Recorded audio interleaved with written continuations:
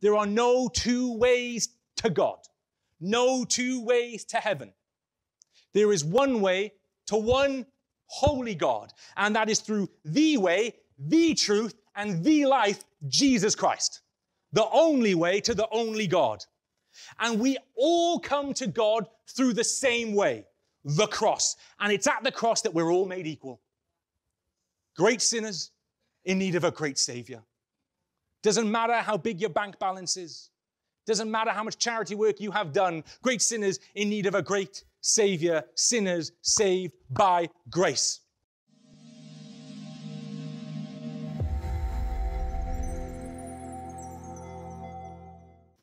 So, we're currently in a series of messages on our vision and values as a church, and we are continuing that series this morning with our next value.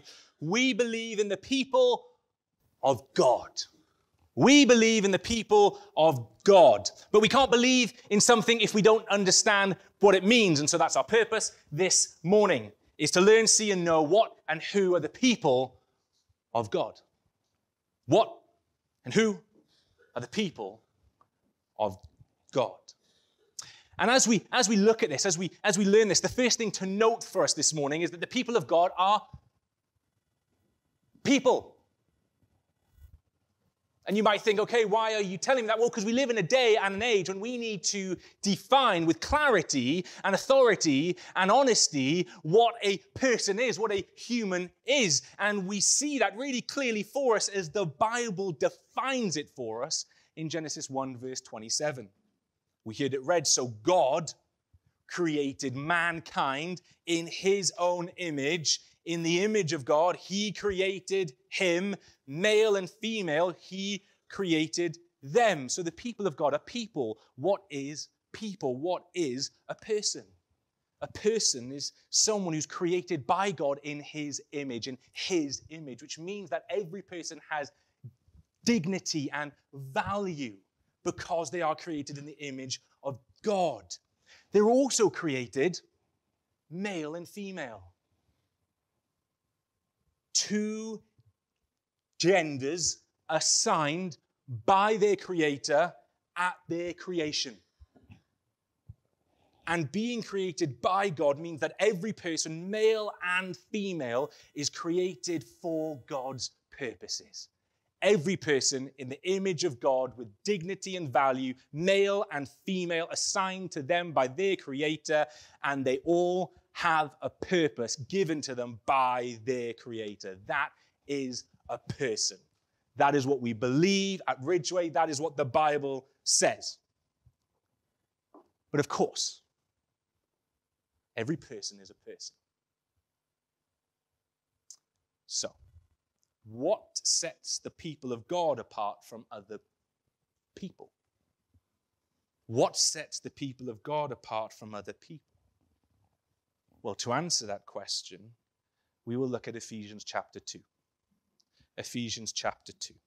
So if you could turn there or scroll there, I want you to keep it open this morning. We will have it up on the screen as we move along, but the word will be preached this morning. So keep it open in front of you if you can. And in Ephesians chapter 2, the Apostle Paul is writing a letter to the church in Ephesus. And he tells us two primary identity markers that sets the people of God apart from just mere people.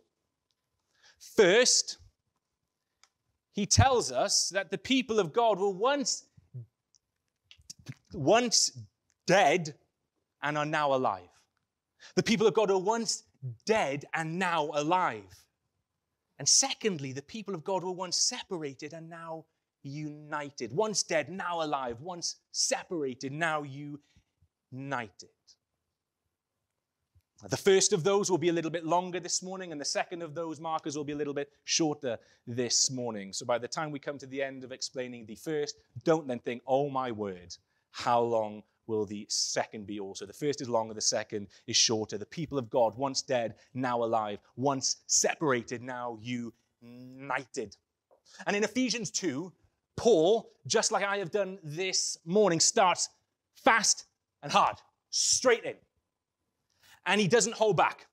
because what we're about to hear is the truth and nothing but the truth. And he begins with telling us that the people of God were once, were once dead. Once dead. Or listen to verses 1 and 2. And Paul says, And you were dead in the trespasses and sins in which you once walked, which means lived, following the course of this world. You were once dead in the trespasses and sins in which you once walked, lived, following the course of this world. And since the start, and oh, sorry, this kind of death that Paul is speaking about here is not physical death, because obviously all of us, before we were Christians, were once alive. He's talking about being, being spiritually dead. Being spiritually dead. We were all, every Christian was once spiritually dead, had no inner spiritual life. Example uh, before you were a Christian, you had eyes that could see all the stars in the sky, but you could not, you did not have the spiritual eyes to comprehend how beautiful the stars were and that they pointed to the fact that there was a creator behind them. You were alive, and yet spiritually you were dead. Example we had ears to hear the Bible message in church, maybe as, as, as children, but we didn't have the spiritual hearing to comprehend that this Bible message is true and I must respond to it with my whole life. We were physically alive, but spiritually we were dead. Example, we had the heart to love ourselves and even in some sense to love others, but we didn't have the spiritual heart to believe in and love Jesus. We were dead, and every unbeliever right now is dead. And we were dead, and they are dead because of sin. Because of sin. And since the start of time, being dead has always been the consequence of sin. It's in Genesis chapter 2, isn't it? That our God says the result of sin is death. Yes, physical death, even. Because remember, before sin, Adam and Eve would live forever. It was only once they sinned that then physical death entered into the world. But greater than physical death, spiritual death, being separated from the God of life forever. Dead in your sin because of your sin. But what is sin? What is sin? If the consequences of sin are so terrible, then help me. What is sin?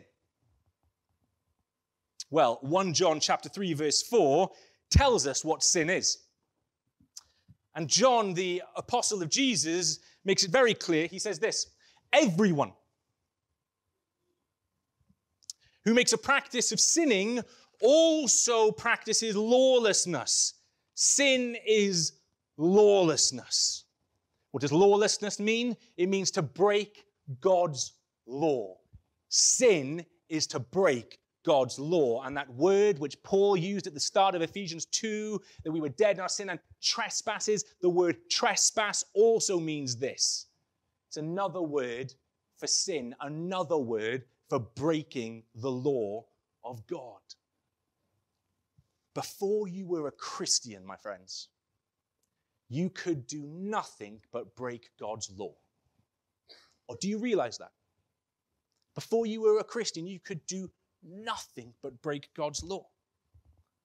Do you remember what it was like? Before you were a Christian, you would make choices based on what you wanted, not on what God wanted. You would live your way, not His way. The commandments of God, all 10 of them, represent God's law. They are God's law. Many of you have learned them, many of you have heard of them. And it is those commandments expressed in those 10 phrases and then expanded upon by Jesus Christ himself. It is those commandments. It is that law which shows us what is right and wrong, and it is written on the hearts of every person in the world, on the conscience of every human in the world. Oh, it may be shadowed, it may be twisted and broken, but it's there. And when you were dead in your sin, you were constantly breaking his law. You, you were a thief. You, you stole things. Not just physically, but even emotionally, you stole from others. You lied.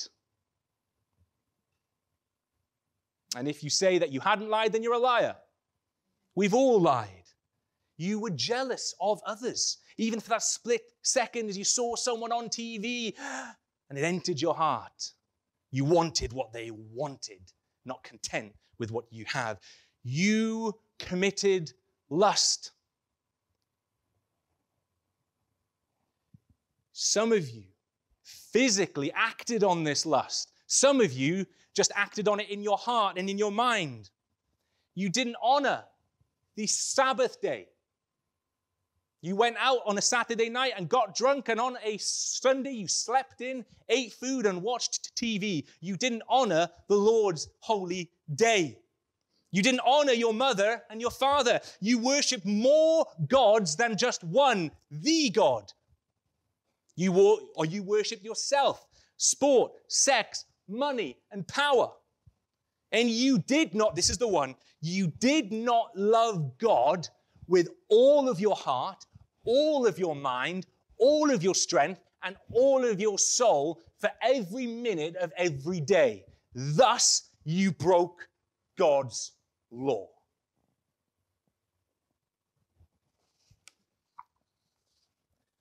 You were a sinner and you were dead in that sin. And because you were dead, you couldn't live any other way. I was at a funeral earlier this year, and the and the person who was leading it uh, did a great job of telling us when to walk in, when to sit down, when to stand back up, and we all followed exactly what he said. Every command of his, except from one person in the room. Do you know who that was? The person who was dead the person whose funeral it was. Or oh, this guy said, sit, he stayed there. He said, stand, he stayed there. He didn't obey one command that was said. Why? He didn't have the hearing to hear it, he didn't have the sight to see it. He could only do what a dead man could possibly do, and that was be dead and disobey the commands given to him. And that's what Ephesians 2 is saying we were like. Just listen again. And you were dead in the trespasses and sins in which you once walked, following the course of this world, following the prince of the power of the air, the spirit that is now at work in the sons of disobedience. We disobeyed we were disobeying God, breaking his law, living in sin. And it wasn't just a habit that humans have. Do you see what he says? We were sons of disobedience. It was our complete identity.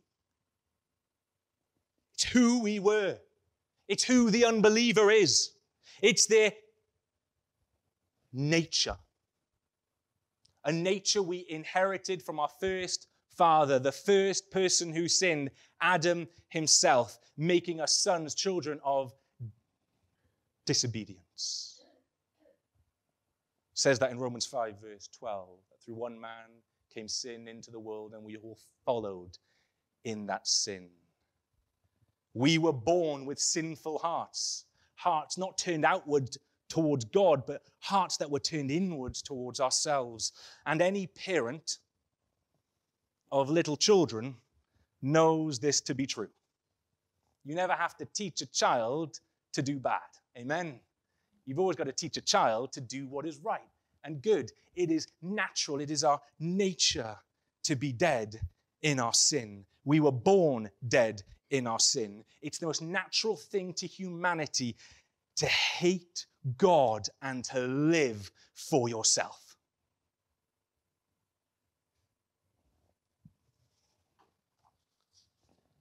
But what most of humanity don't realize, and what perhaps some of you sat here this morning don't realize, is that there are great implications to being dead in sin. And Paul tells us two great implications of our sin.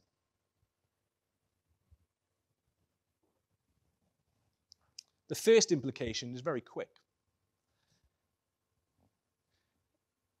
It's that the unbeliever is not as independent as they think. They are not living merely just their way. They're not living merely just according to their law and their plan and their purpose. In verse 2, what does Paul says? He says, "We are following the prince of the power of the air." That is another name for Satan. To break God's law, church, to sin and to live dead in that sin is to do what Satan wants you to do. Is to follow him and his plans. Do you realize that? That there is no neutrality in this world. You either follow God or you follow Satan. You may not be singing his songs and saying, Hail the enemy, hail the evil one, but when you sin and live in your sin, you are doing exactly what he wants and following him. That's the first implication of our sin. The second implication, though, is even worse than that. Even worse than that. In verse 3, Paul says, Among whom we all once lived in the passions of our flesh carrying out the desires of the body and the mind, and were by nature children of wrath like the rest of mankind. The second implication of being a lawbreaker, dead in sin, is that you are, we were, a child of wrath. We live in a world where people get really angry and they get angry at unjust things, be it sexism or racism or financial and political lies. People, you and I, rightly so, get angry at injustice. And people get angry at, in, in, injustice because they're made in God's image. That's why. That's why we get angry at unjust things, because we're made in God's image. Because it is God who gets angry at unjust things. It's God who hates injustice. And we have received that from Him when we were made in His image. And the most unjust thing is crime. That's what we get most angry at the breaking of laws, and specifically crime against the innocent. That's what we get most angry at. And God, God has never sinned and he never will. He is holy and he is perfect. He is loving and he is kind. He is innocent of any wrong. And yet, we broke his laws. We committed cosmic crimes against the Creator, the innocent and the holy God. And that holy God is angry at injustice. He's angry at sin and sinners. Why? Because he is just, because he is righteous, because he is good, because he is fair. And God's anger, God's wrath is hovering over the lawbreaker, sitting just above the sinner. If you go to New York on New Year's Eve, you'll see a famous sight. You see a huge, a huge ball suspended up in the air. And as people count down 10, 9, 8. The, the ball slowly drops on each on each count. 10 and it drops. 9 and it drops. And then eventually 3 2 1 midnight and it falls and it drops and there's fireworks and there's cheers and everyone is excited and happy. Now imagine you're in new york standing underneath that massive ball right underneath it. Now imagine that massive ball is a massive hammer Now imagine that that massive hammer is filled with the fiery wrath and anger of God.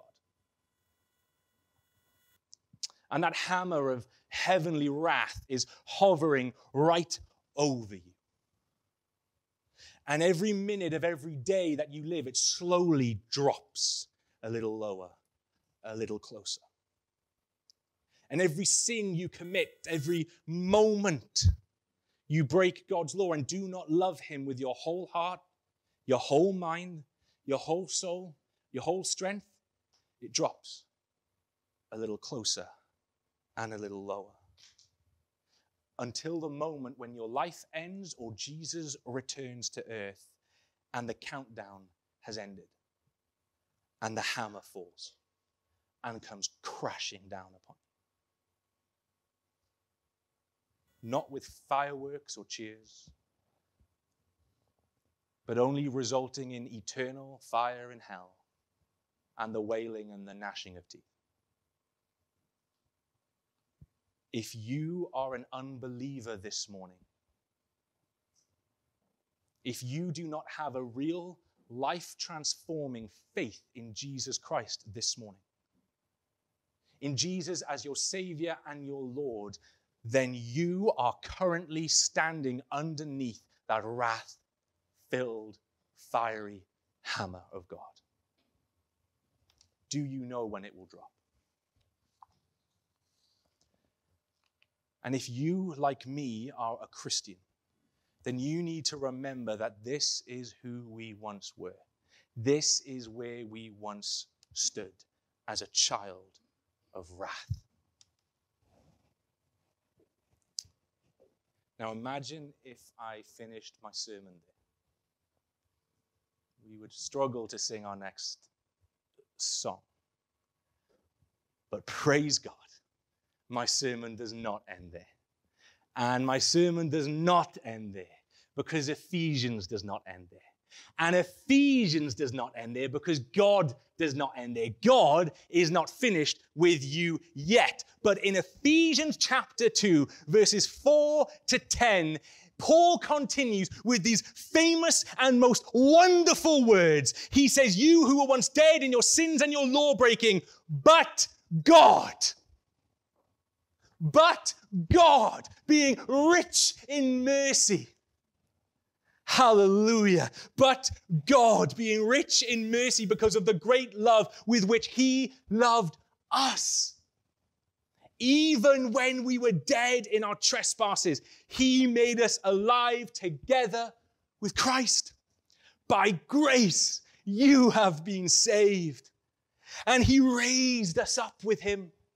He raised us up with Him and He seated us with Him in the heavenly places in Christ Jesus so that in the coming ages he might show the immeasurable, unending riches of his grace in kindness toward us in Christ Jesus. For by grace, church, you have been saved through faith. And this is not your own doing because you are dead in your sin. It is the gift of God, not a result of works, so that one may boast. For we are his workmanship, created in Christ Jesus for good works which God has prepared beforehand that we should walk, live in them. Yes, Christian, a person of God was once dead, but they are now alive. Hallelujah. Hallelujah. And now you, as a Christian, have ears to hear this, you have eyes to see this, and that heart to love Him because you have been made alive. But who did this great work? Who did this great thing? So was it you? No, it was God who did it. God made you alive. The one you rebelled against has made you alive. Yes, you were the one who made yourself continue to stay dead in your sin, but you could never have made yourself alive. You were dead. Only God could make you alive. Just, just think about it. Just think about it. When I was at that funeral earlier in the year, there were many people in that room who wanted this person to be alive. But there was no amount of shaking him, of shouting at him, which could have brought him to life. They couldn't do it. And for sure, that person who was dead couldn't bring themselves to life. If they could, they would, but they couldn't. They were dead. And that was where we were. That was our position. However great the preacher was, however much we went to church, however much charity work we participated in, however well we parented, nothing we did could atone for our sin. Nothing could take us out of the way of the hammer of God's wrath and make us alive. Only God could do that great work. Just listen to these words again. But God, in verse 4. But God, being rich in mercy, because of the great love with which He loved us, even when we were dead, while we were still dead, in our trespasses, He made us alive together with Christ. By grace you have been saved. God did this great thing, and He did it by His grace. What does that word mean? Grace means the unmerited, unearned favor of God unmerited, unearned favor of God. And when you were a criminal, when you were a lawbreaker, dead in your sin, God loved you even then. And in his unearned favor, he looked upon you and he took you and woke you up, making you alive forever. You were dead. You couldn't say yes to Jesus. You couldn't pray a sinner's prayer. You couldn't walk down the aisle. You couldn't read enough of the Bible or come to church at all with eyes to hear, eyes to see, and ears to hear. You couldn't make yourself a Christian. Only God could make you alive with Christ. You were dead. And God, by His grace, made you alive. And then, when you were alive, when you could finally hear what the preacher is saying, when you could finally see how good Jesus is, He then gave you the gift of faith. That's not even of yourself either. He put faith in your heart to believe and go to Jesus. That's exactly what verse 8 and 9 says, isn't it? For by grace you have been saved through faith. This is not your own doing. It is a gift of God, not a result of your works, so that you cannot boast about anything, but only praise Him. By grace alone, through faith, through faith alone, in Christ alone, you were once dead, but hallelujah, you have been made alive. How? How? How? How could God just just move that hammer of wrath away and give me life. I thought he was just. I thought he was fair. I committed crimes. They deserve punishment. How did he just do it? The answer is Jesus Christ. It was Jesus Christ, the Son of God and God the Son, who came from heaven to earth and became human just like you. But he never broke a law like you did. So he was never dead in his sin. He had no sin. He was always spiritually alive. And, and he put himself under that hammer of wrath meant for your sin and meant for you, a sinner. He pushed you out of the way, letting the hammer fall upon him and taking and satisfying the fullness of God's wrath meant for you. The anger, the punishment, the eternal wrath and hellfire that you and I justly deserved, Jesus took. And that's what happened at the cross of Calvary 2,000 years ago. That's why we drink wine and eat bread in remembrance of Him. Because Jesus, the innocent Son of God and Son of Man, died a criminal's death and was crushed by the fiery wrath of his own Father in our place. He died for you who was already dead. But Three days later, God resurrected his son from the grave to new and glorious eternal life. And all those Jesus died for, he also rose for. So now your sins are forgiven, the punishment of your sin is taken away, and you are made alive in Christ's life. You're free from death, free from Satan, free from hell, free from wrath, free from sin forever. All because of Jesus. All because God loves you. Christian, we are the people of God.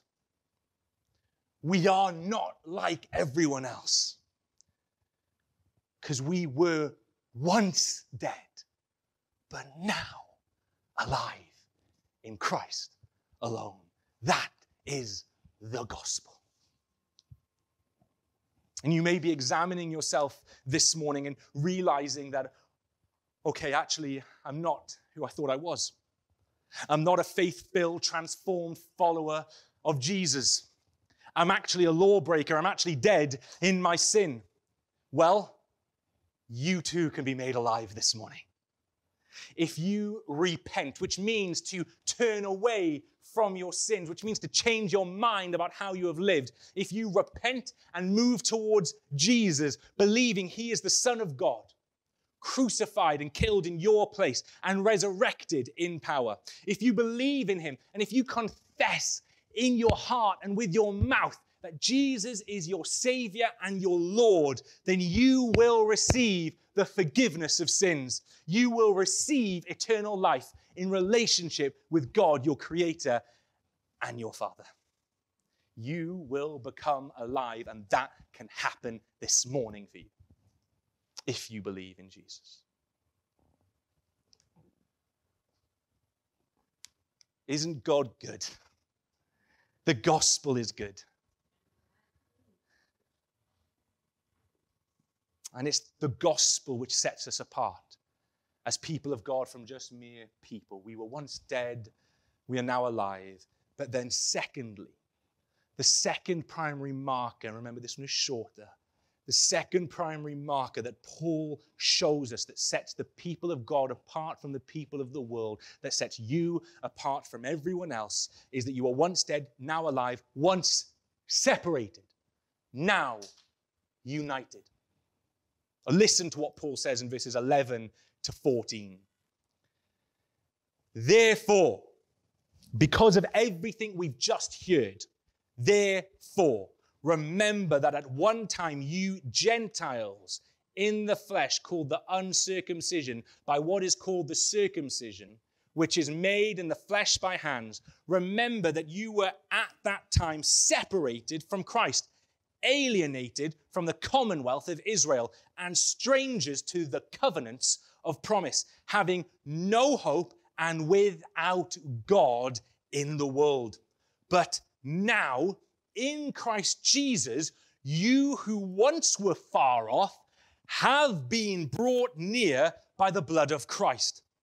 For he himself is our peace who has made us both one and has broken down in his flesh the dividing wall of hostility by ab- abolishing the law of commandments expressed in ordinances, that he might create in himself one new man in place of the two, so making peace, and might reconcile us both to God in one, one body through the cross, thereby killing the hostility hostility. There's a lot in there. Let me explain it. Because it's good, it's worth it.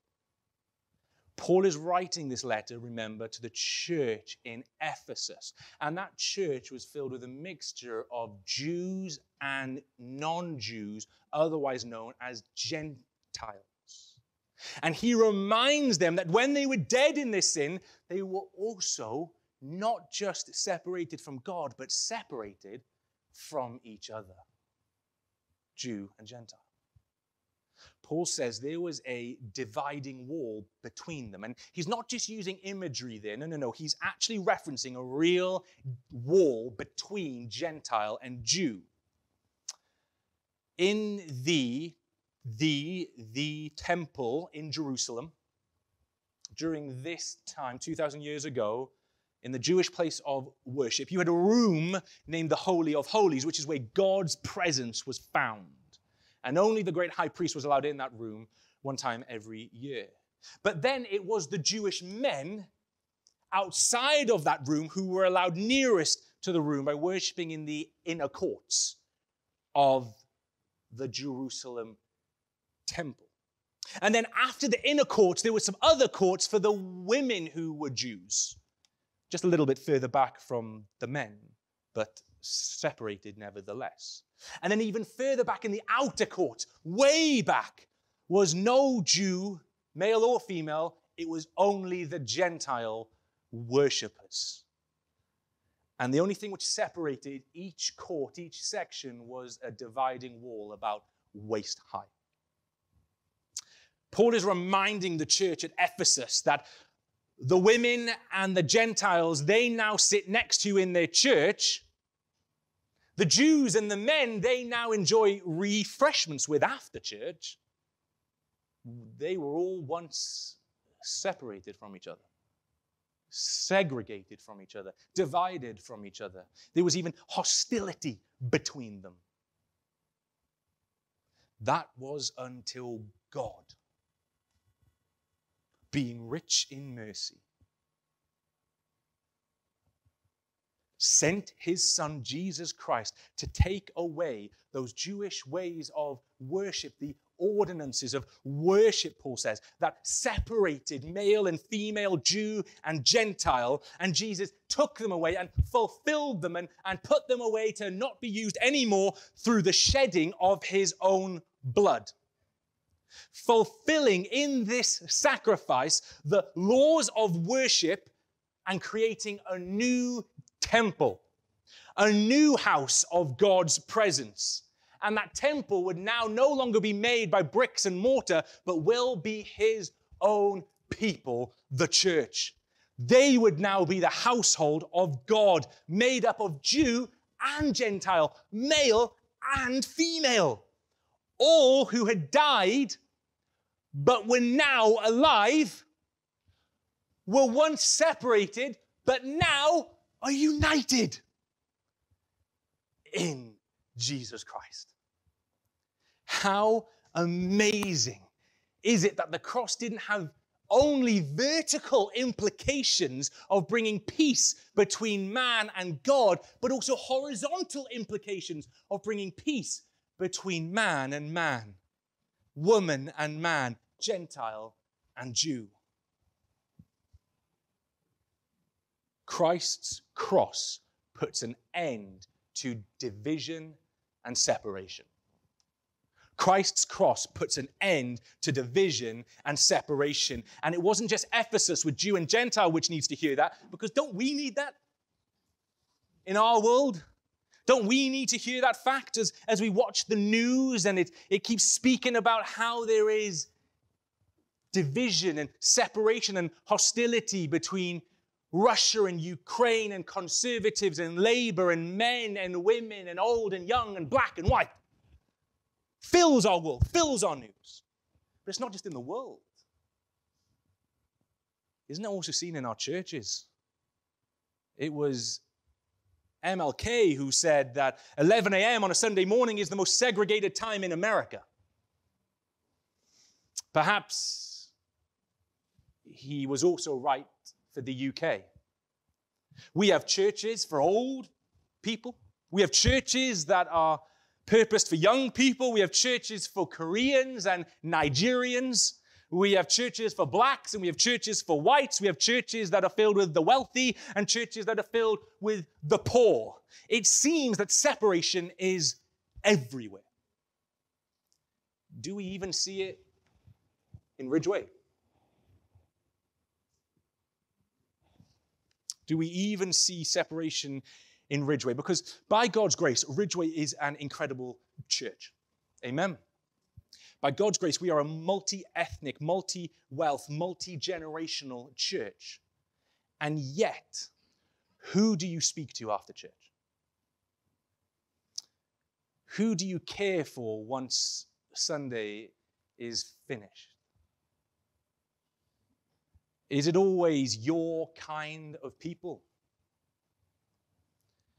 Do we look down on certain people in church because they're not like us? Don't think like us, don't speak like us. Do we speak and think patronizingly of certain people in church? Maybe not to their face, but behind closed doors. Would the world look at us and see the same separations in our church as they see in the world? Or would they see a supernatural peace and love and affection between us as brothers and sisters in Christ? Because that's what we're supposed to see, isn't it? Isn't that what Paul says in verses 17 to 22? And he, Jesus, this is the last part of Ephesians chapter 2, he, Jesus, came and preached peace to you who were far off and peace to you who was near. Far off is the Gentile, near is the Jew. Peace to them all. For through him we both have access in one spirit to the Father. So then you are no longer strangers and aliens of each other, but you are fellow citizens with the saints and members of the household of God, built on the foundation of the apostles and the prophets, Christ Jesus himself being the cornerstone of this new house, in whom the whole structure being joined together, joined together, grows into a holy temple in the Lord. In him, you also are being built together into a dwelling place for God by the Holy Spirit. Paul is clear Gentile, Jew, black, white, rich, poor. There are no two ways to God, no two ways to heaven. There is one way to one holy God, and that is through the way, the truth, and the life, Jesus Christ the only way to the only God. And we all come to God through the same way, the cross. And it's at the cross that we're all made equal. Great sinners in need of a great Savior. Doesn't matter how big your bank balance is. Doesn't matter how much charity work you have done. Great sinners in need of a great Savior. Sinners saved by grace. We who believe in Jesus were once dead, now alive, have been made into a new household of God, a new family within which God lives. There's a fascinating moment in Jesus' life when he's with his followers. And Jesus' biological family turns up and they ask to see him. And they, te- and they say that they are his mother and his brother and his sisters. And Jesus says, No, you are not my mother, my brother, and my sisters. And he points to the followers of Christ and he says, These are my mother, my brother, and my sisters. I've pondered that story this week a lot. And I've had to ask myself do I prioritize my biological family over my spiritual family, my true family, the church? Now, you might say, hang on, Pastor, hold up. My biological brothers and sisters, they are my blood, thus, they are my priority. Well, I would respond to that. Are they? Of course, physically, they are your blood, but the Bible says spiritually and eternally, I am now your blood. Isn't that what Paul says in verse 13 and 16? That we've been united together, you and me, by the blood of Christ. When you become a Christian, you experience a blood transfusion. So now it's the blood of Christ that spiritually runs through your veins, just as it runs through the veins of the Christian sat next to you. No longer is that person just a person in church. No longer is that person even just a friend. They are now your brother and your sister and your mother and your father. And that challenges us. That challenges me because Jesus prioritized his spiritual, his true brothers, his true sisters over his biological brothers and sisters. And I wonder, are we? This new family we have is a gift from God, and I do believe we should put more effort into enjoying and building up this new family we have in God. We should invite more people to our house after church for a meal. We should take more time after the Sunday service to learn people's names, ask about their lives, pray with them when they're finding things hard. We should love each other more with more than just a mere hello on a Sunday, but we should care for each other in the week also. And not just the usual people, church, not just our kinds of people, but everyone in our family, all kinds of people. Jesus did say the world will know us by our love for one another. And so, church, we are not like everyone else. We are the people of God, and that means we are people as defined by Scripture, and we are people who are once dead, now alive, once separated, now united, all and only through Christ Jesus. Hallelujah. That makes me want to pray. So I'm going to pray, and as we pray, the worship team could come back up nice and quietly.